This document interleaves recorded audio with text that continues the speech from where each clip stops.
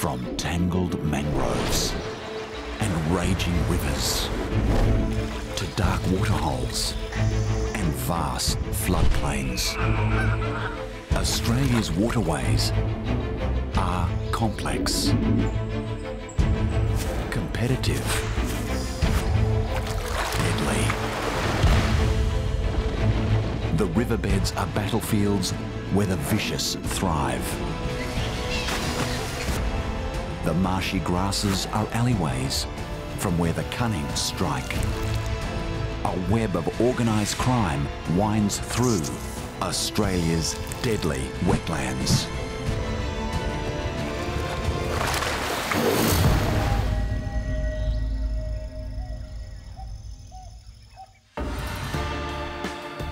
These are the case files of Australia's most notorious wetland killers, assassins, stalkers, and con artists. Where there's water, there are animals wielding biological weapons, each displaying cunning methods to capture and devour prey. Leading the lineup, the heaviest hitter of them all, the saltwater crocodile.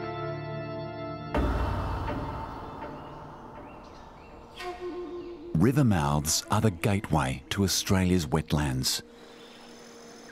The brackish water of the mangroves, fringing much of the continent's coast, hosts an abundance of dangerous wildlife. But nothing is more formidable than the saltwater crocodile.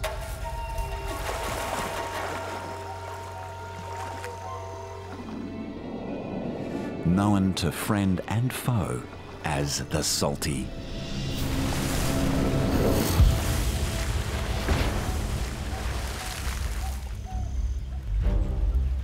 The world's largest living reptile, the salty can grow to 23 feet and weigh beyond a tonne. They are the undisputed rulers of northern Australia's coasts. They have the muscle and the weapons. Their mouths are crammed with up to 60 lethal blades, designed for killing rather than chewing. Almost anything straying across their path is in danger of being eaten.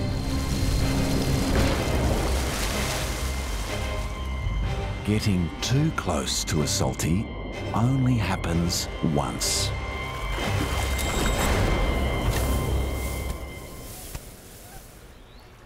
To function with ruthless efficiency, these killing machines must run at the correct heat. Saltwater crocs work to maintain a constant body temperature of around 89 degrees Fahrenheit. But they must prevent their brains from overheating. Their gaping mouths enabling evaporative cooling.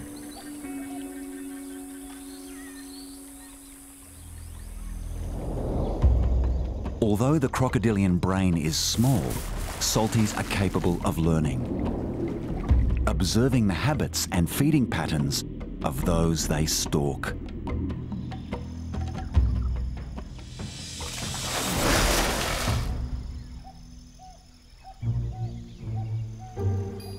Study begins at a young age. Juvenile crocs are known to target a peculiar fish that can walk on dry land. The mud skipper. Mud skippers crawl from the water at low tide, escaping the dangerous world below the surface. Before emerging, they enlarge their gill chambers, filling them with water. The chambers seal tightly to keep the gills moist, allowing the fish to breathe on land. But escaping the water doesn't free them from all its dangers. Juvenile crocodiles hone their hunting technique by stalking mudskippers.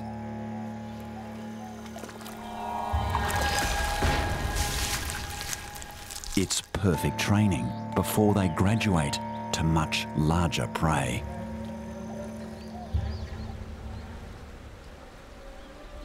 It's mid-morning. Having warmed up, the boss croc and a member of his harem head out separately to hunt.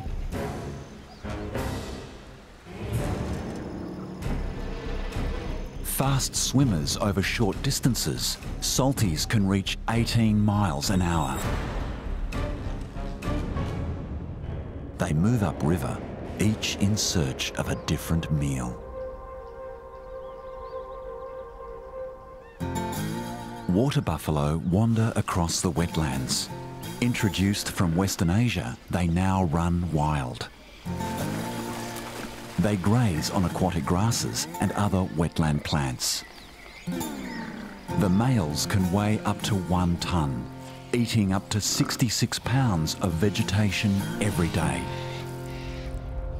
As the heat slowly rises, the buffalo move to the water to drink and cool down. The female croc sees them. She stays hidden, waiting for her moment. Crocodiles haven't changed much since the time of the dinosaurs. They're designed to ambush. Only her eyes, ears and nostrils are exposed above the waterline. But moving in for the kill, she disappears completely. Muscles constrict her nostrils and her throat is closed off with a flap of skin, preventing water from entering her lungs when she opens her mouth. She targets one of the smaller buffalo that has wandered in too deep.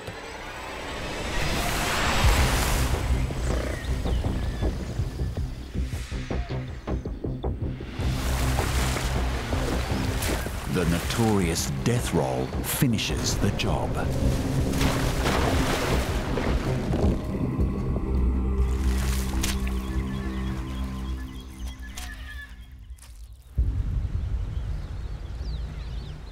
Meanwhile, the male has come across another thirsty local. A wallaby, desperate for a midday drink. The reptile's approach is silent. The wallaby wanders into the boss croc's kill zone.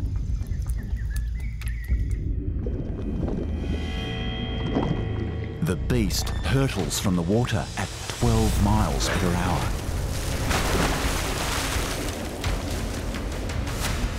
He can't move his jaw from side to side and chew like a human. The only way to break up his kill is to shake the carcass to shreds.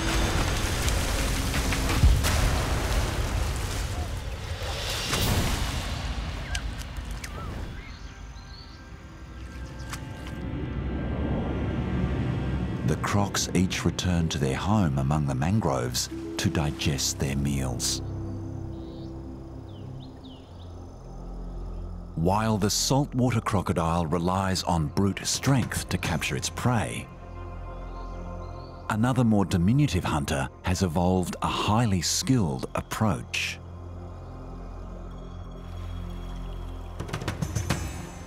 The archerfish.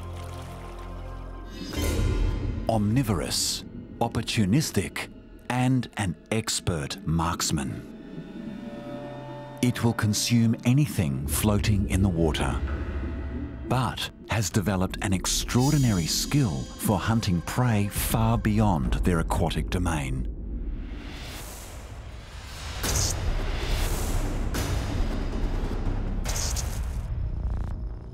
A master of physics, the archerfish can make lightning quick calculations to perfect its aim and dislodge prey.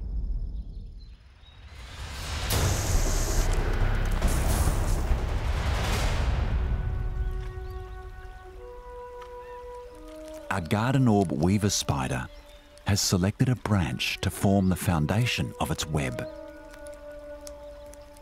Little does it know, the new property is well within the fish's accurate six foot range. When eyeing its quarry, the archer must compensate for refraction, the bending of light as it passes from air to water. Viewed from below, the target isn't exactly where it seems. Despite the accurate shot, the spider manages to maintain its grip on the branch. Compressing its tongue against a groove in its mouth, the fish creates a tube to funnel the water. A special cover over the gills rapidly snaps shut, forcing the water through the tube. Once again, the spider clings on. This archer must also account for the curved trajectory of the water jet. Letting gravity bend the shot toward the target.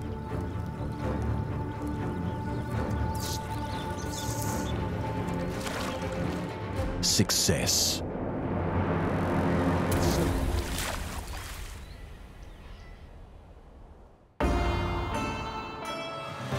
While the archerfish employs precision ballistics to dislodge its quarry.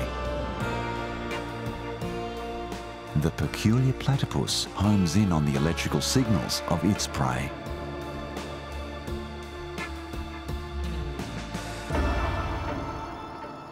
The estuaries are fed by a network of streams. As the water shifts from salty to fresh, New habitats support distinct interactions between hunters and the hunted. Moving upstream, one finds a true wetland oddity. Shy and elusive. The platypus.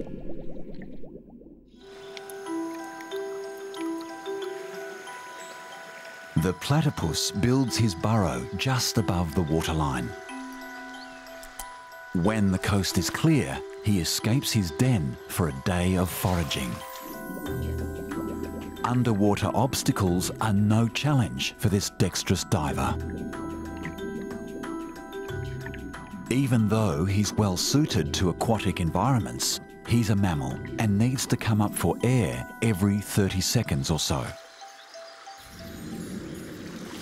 Underwater, he closes his eyes and seals his nose yet is still a highly effective hunter.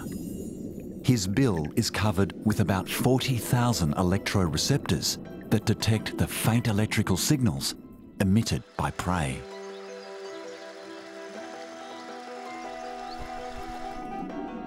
He combs the riverbed with his bill, searching for any pulse.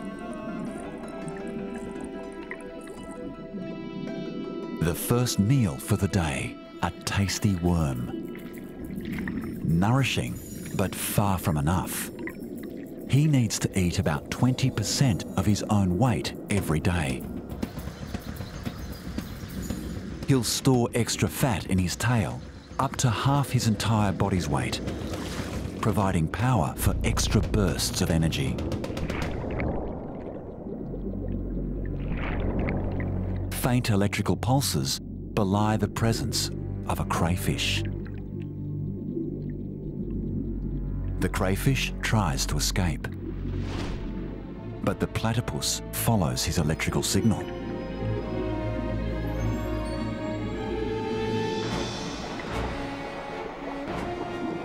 One crayfish down, but it isn't enough. A platypus spends around 12 hours a day searching for food. But this feast is about to be rudely interrupted. It's mating season, and another male has swum into his territory. He'll need to vanquish the potential rival.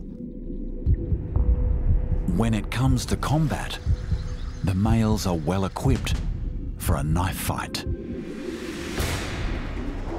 They both carry concealed weapons a venomous spur behind each hind foot. The tussle ends quickly. The challenger escapes the fight, swimming downstream in search of another mating ground.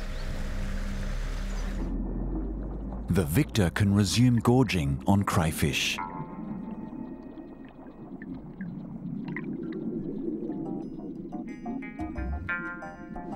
By sunset, the platypus has had his fill.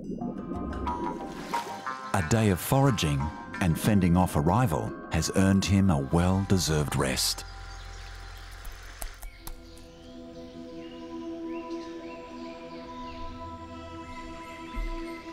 Elsewhere, below the surface of a slow-moving stream, lies another battlefield. This hardened bully feeds on the dead and the dying. Few species would challenge the freshwater crab.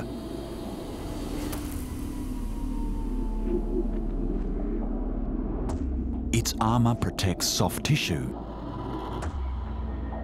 and even its eyes can be retracted when threatened. Its claws are weapons for attack.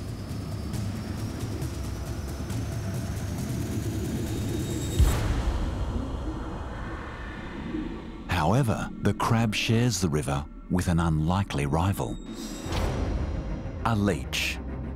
A tiger leech. No armour, no obvious weapons, yet this leech is deadly. At just two inches long, it lives up to its name.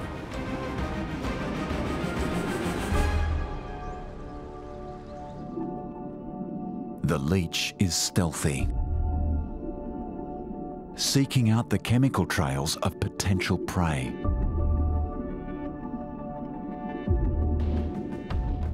The crab sees movement amongst the detritus.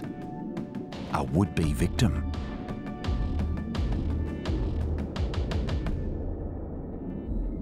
The leech seems wary and keeps its distance from the well-armed aggressor.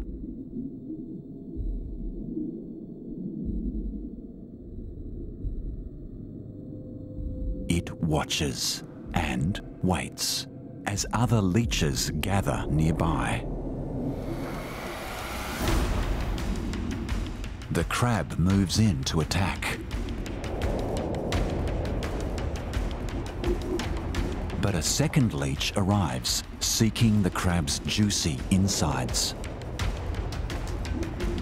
The crab decides that attack is the best form of defense. Its claws could do serious damage to a leech's soft body. But the leeches are slippery customers, covered in mucus.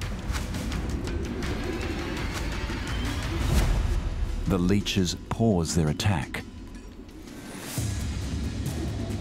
Only for a moment. This leech is hungry. It maneuvers behind the deadly claws and tries to latch on. The crab attempts to shake off its attacker.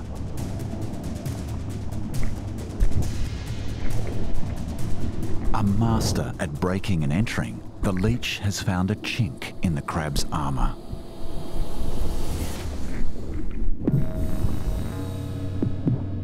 Once it strikes soft tissue, it tears into the flesh, injecting an anticoagulant.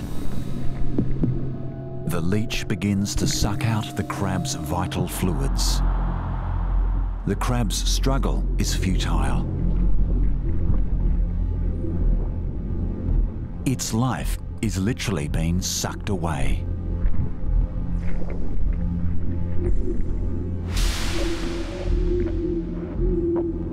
The leech will gorge itself, consuming up to five times its original body weight.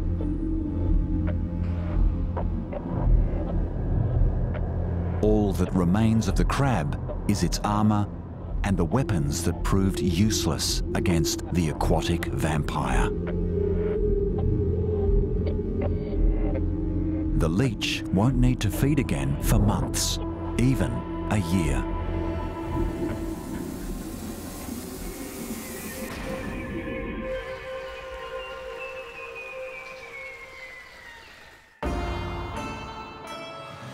Whilst micro monsters battle it out in the streams,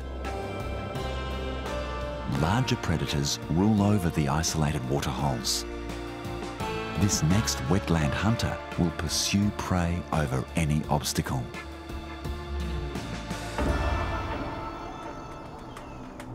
Australia's deadly wetlands shift with the cycle of the seasons. The creeks and rivers often change course, leaving behind isolated bodies of water. These waterholes are centerpieces to a mosaic of terrains that require multiple talents to traverse.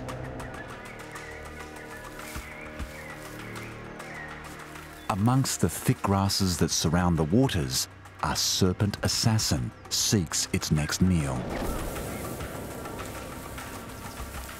Those brown stripes and its highly aggressive nature have earned it the name tiger. Instead of claws, it wields fangs.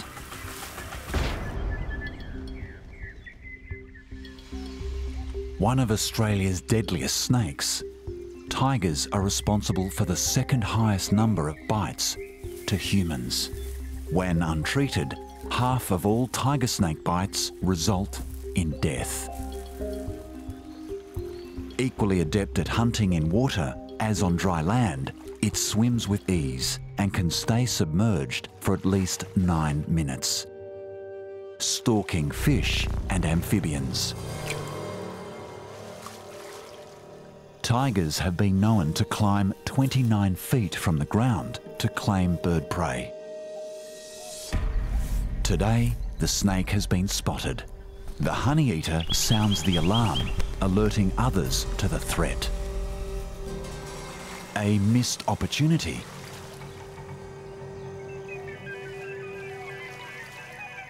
The snake will need to seek a meal elsewhere.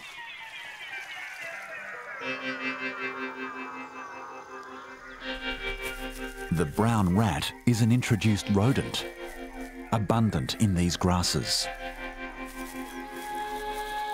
Tiger snakes play an important role, preventing their population from blooming beyond control.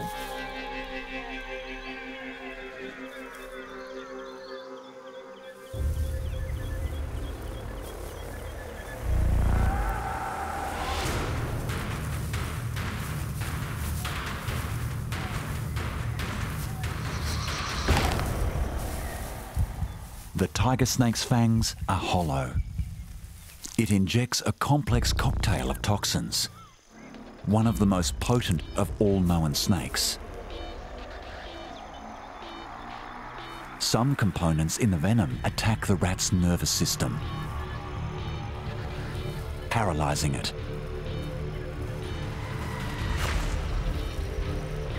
Other ingredients target the rat's blood, causing internal hemorrhaging.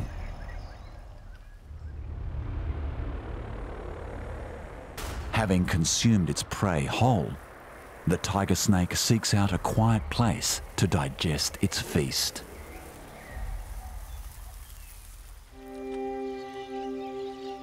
The tiger snake isn't the only reptile to conquer the diverse terrain around the waterholes.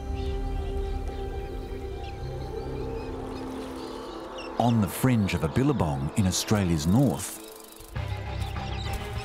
Another solar-powered stalker soaks up energy for the day. Never far from a source of fresh water, a Mertens water monitor will eat almost any suitably sized animal that crosses its path. With strong legs, it navigates the rocks, Its long claws and powerful tail fend off rivals during ritual combat in the breeding season. It hunts both on the land and in the water. The tail is both propeller and rudder.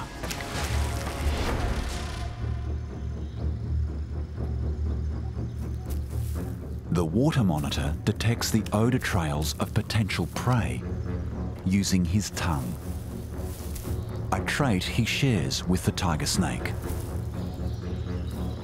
The appendage is split in two, each tip flickering separately. maximising the amount of air the monitor can sample, but also providing directional guidance.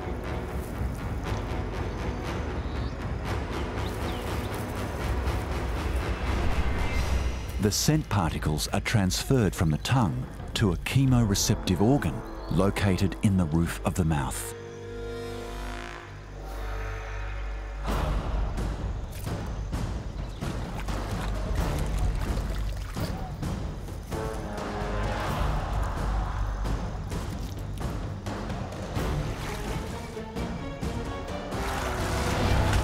The monitor has big teeth for ripping apart larger prey, but smaller meals are devoured whole.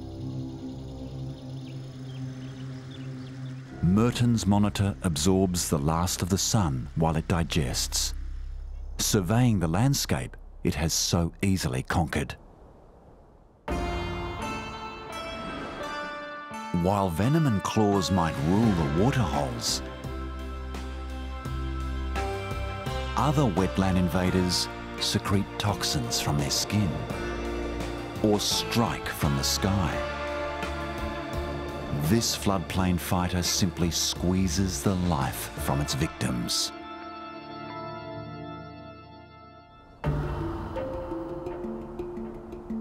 Hundreds of large rivers snake their way across Australia's coastal plains as they flow to the sea.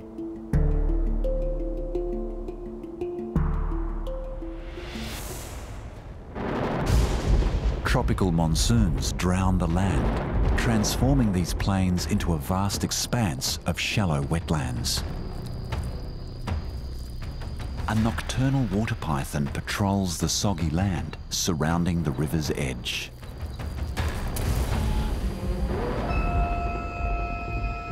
The python can go for two years without feeding, shrinking its gut to reduce the amount of energy it needs to survive. It's been a long time between meals. The python's appetite needs to be satiated. And there's a perfect target scurrying about. A Rakali, a native water rat and wetland forager. Like the python, it prefers nighttime ventures. It will scoop up crustaceans and pounce on the opportunity of an easy mussel.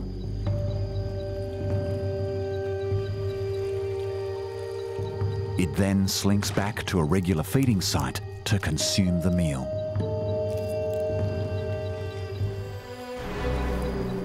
The water python stalks its prey.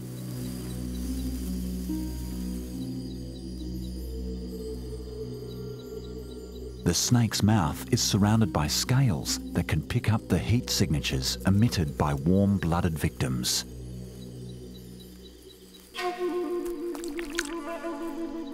In Australia, only constrictors, like the python, possess this sense. It receives a faint signal from the Rakali and closes in.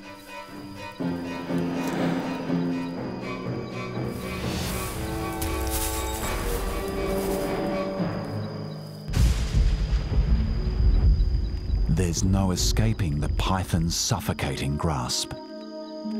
Its coiling body forces the water rat's blood pressure to soar. The rodent's heart fails to pump blood to its vital organs. The python squeezes until the Rakali is dead. The snake should be wary when consuming its prize. These wetlands are full of thieves. The python's lower jaw bones aren't fused together at the front. Instead, they're held together by an elastic ligament, which allows for an exceptionally wide gape. Teeth in the lower jaw then rake the food back into the throat before waves of contracting body muscles push the food down. The snake's gut quickly kicks back into action, producing powerful enzymes and gastric juices that slowly digest the Rakali. The water python slithers from the scene of the crime in search of somewhere to digest in safety, far from its own floodplain predators, both in the water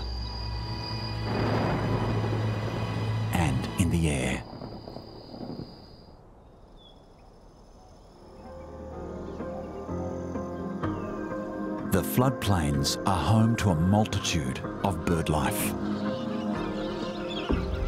However, the water birds must remain vigilant. Predators stalk these skies. The white-bellied sea eagle is a versatile bird of prey, feeding on almost anything, from snakes and small mammals to other bird life. However, the eagle's diet is mainly aquatic.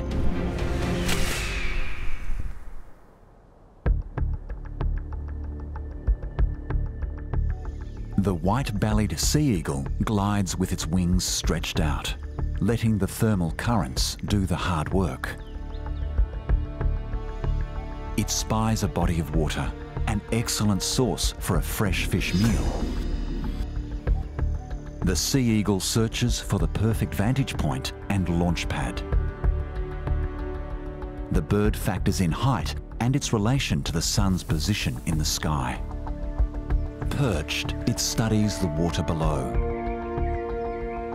It has keen vision, with eyes nearly one and a half times larger than birds of a similar weight, enabling it to distinguish objects extremely far away.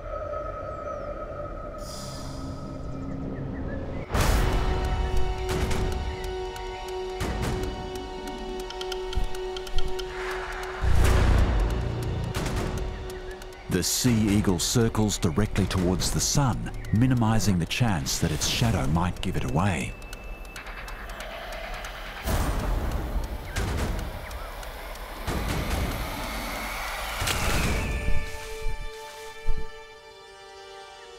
A clean snatch and grab from a master aerial predator.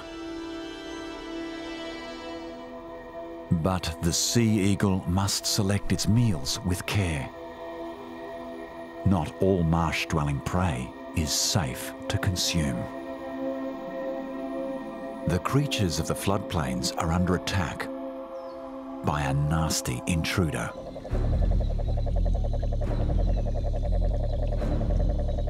The cane toad was introduced to Australia in the 1930s to control pests feeding on sugarcane.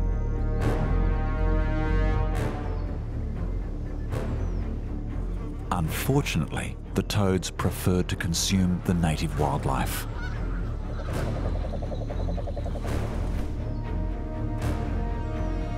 Cane toads leave a bad taste in the mouths of would-be predators. So, they've been left to run rampant.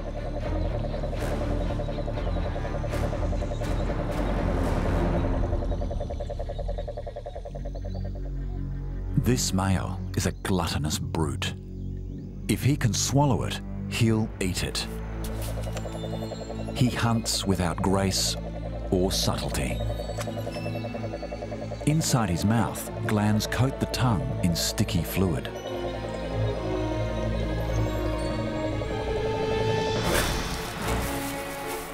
The tongue flick lasts only 10 milliseconds. By depressing his eyeballs into his mouth palate, he forces the meal down. In these dangerous waters, most creatures as small as the toad keep a low profile. This brute, however, enjoys his meal out in the open. Because this toad is full of more than just swagger. His defense oozes from his skin. Glands behind his eyes secrete a deadly hallucinogenic toxin. Unwary attackers suffer a long, drawn-out death. cane toads can live up to 15 years. And while adults tend to be thuggish loners, younger generations knock about in gangs. They swarm over the marshes, devouring anything in their path.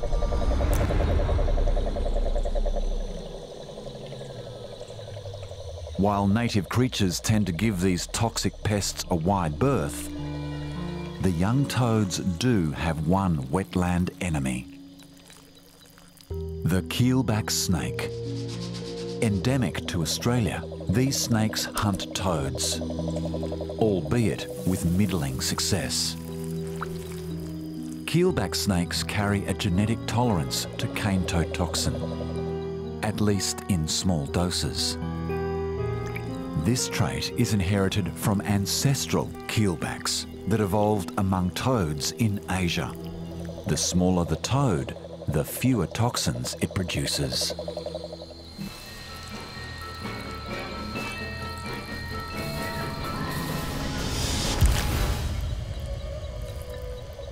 But something's amiss. The toad is too big and the poison too strong. If the keelback had devoured the toad, it would have followed a multitude of native predators to an early grave.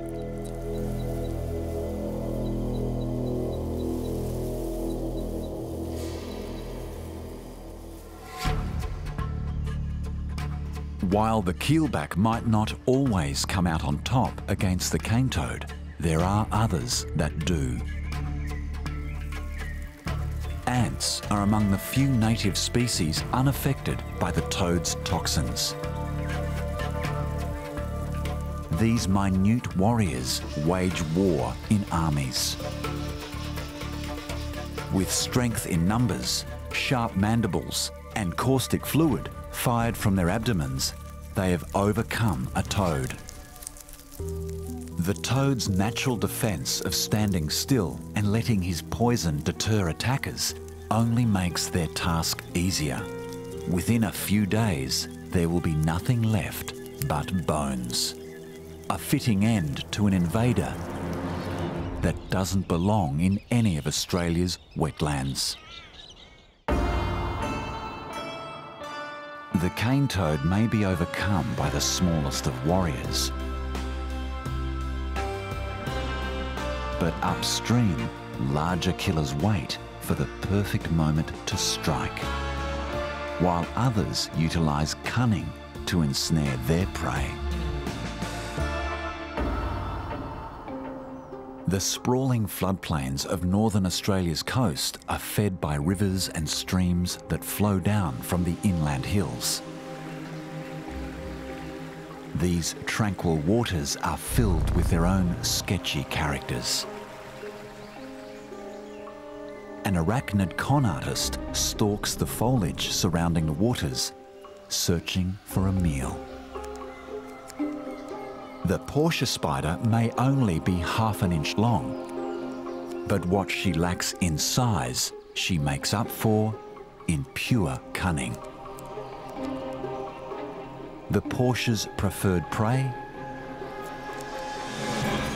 Other spiders.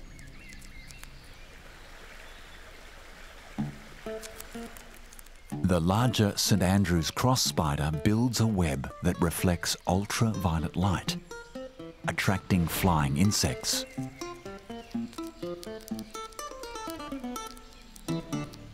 But today, the web has caught the attention of the Portia spider. An intelligent stalker, the Portia analyses the vegetation surrounding her victim's web. She determines the best vantage point from which to attack. The Portia spider's mottled appearance mimics the forest detritus.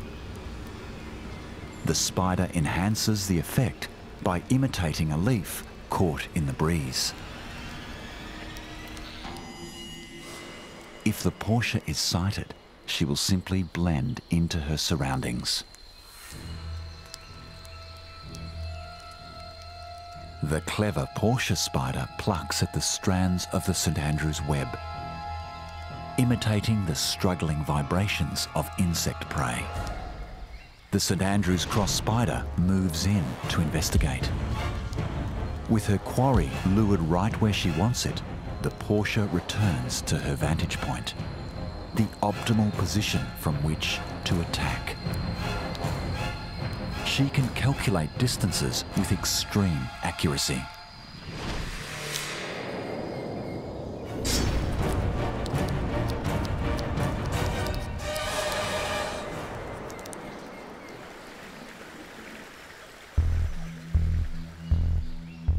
The Portia spider injects her lethal venom and digestive enzymes, drinking the insides of her victim, leaving only the husk of its exoskeleton.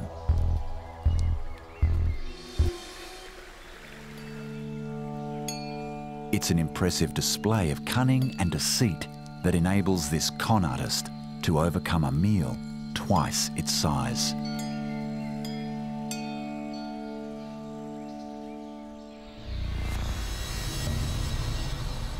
Below the scene of the Portia's crime, the placid waters host another forest hunter. The freshwater crocodile. This smaller, slender cousin of the salty might not look dangerous. Unmoving, silent, but don't be fooled. This croc has speed and power.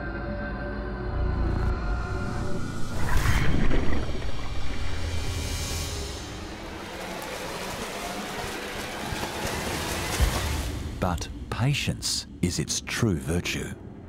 It favours the sit and wait method of hunting. It allows its prey to come within range, moving with speed only when required. The freshwater crocodile will eat just about anything it can find in the shallow waters of inland streams.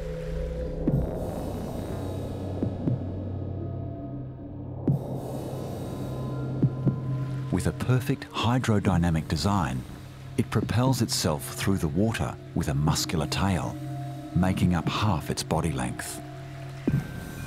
But like all reptiles, freshwater crocodiles are ectotherms, gathering heat from their surroundings.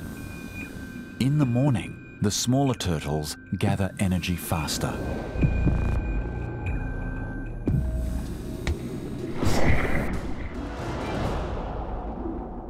A missed opportunity. But this crocodile isn't too fussed. It knows that in this wetland there will soon be other prey arriving from above. Fruit bats, otherwise known as flying foxes.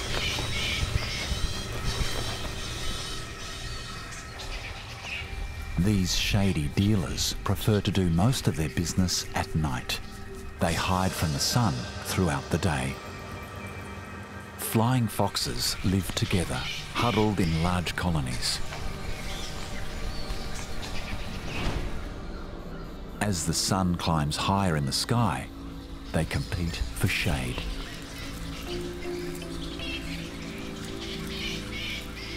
They're all at risk from the same danger dehydration. They need water. When evening comes, the bats prepare to leave the roost.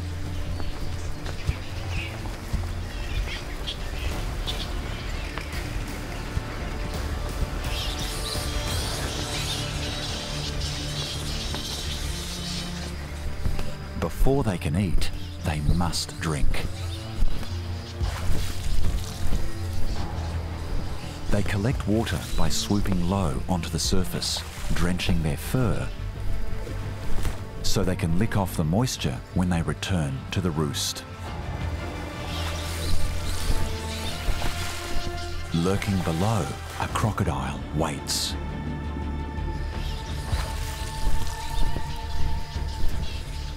After a full day in the sun, it's charged up. and hungry.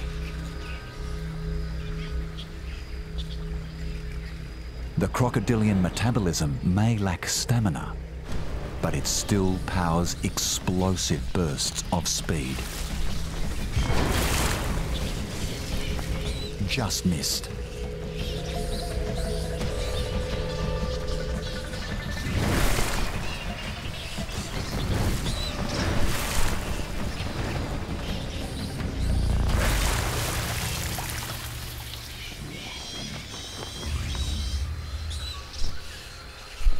This bat knows the croc is on the hunt. But, desperate with thirst, it takes the risk.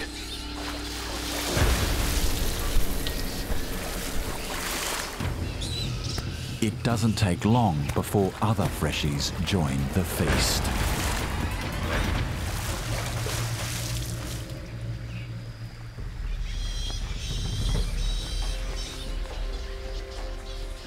As the darkness descends, the surviving fruit bats head out across the forests.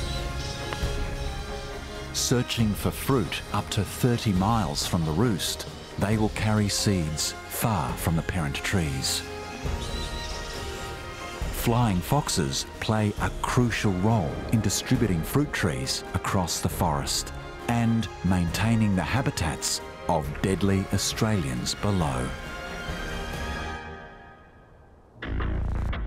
These waterways are the lifeblood of Australia. From the highland streams to lowland floodplains, isolated waterholes and brackish estuaries. Each environment sets the stage for complex interactions between predators and their prey. Whether it's a high-speed chase and a venomous bite, or an assassin's ballistic skills. Each adaptation is honed to provide a predatory edge within a particular niche. From the forests to the sea, Australia's wetlands are truly deadly.